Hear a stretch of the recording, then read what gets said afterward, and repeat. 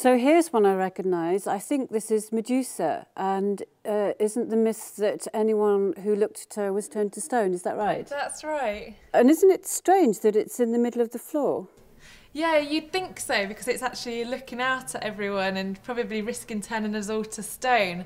You can tell that her head is very suitable for the roundel in the middle of the floor, so that might be a formal reason why she might go in the middle of the room. Mm. But also from a thematic point of view, Medusa was known in antiquity to have powers of repelling evil. And in fact, there are some stories where even a single lock of her hair was used to turn back entire armies from city walls. Um, so she basically became a sort of inverse good luck symbol, and she was used very commonly around Roman houses. What's not so clear is exactly how Medusa distinguished between potential enemies and normal visitors. Um, but I guess superstition never is really easy no. to understand. No. So I do have a problem with this particular mosaic in that to me she looks a bit skewed, like she should be set further around this way. Have you any idea what happened?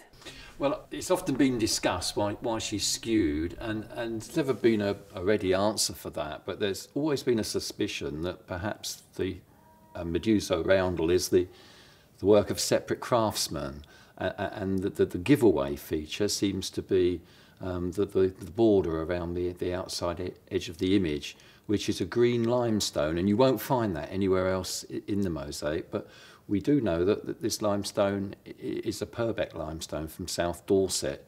So there's always been a suspicion that perhaps the person that designed and perhaps laid this particular section of the floor was a different person, perhaps using their own supplies or indeed possibly even bringing in the whole thing from elsewhere. So thinking about it, if I was doing this job, I would actually work indirectly. So I would make my mosaic in the studio working face down on a piece of backing paper and I would stick my mosaic down onto the backing paper and then actually bring it on site, lay cement into the area that I was going to lay the mosaic into, and then flip my brown paper over into the cement.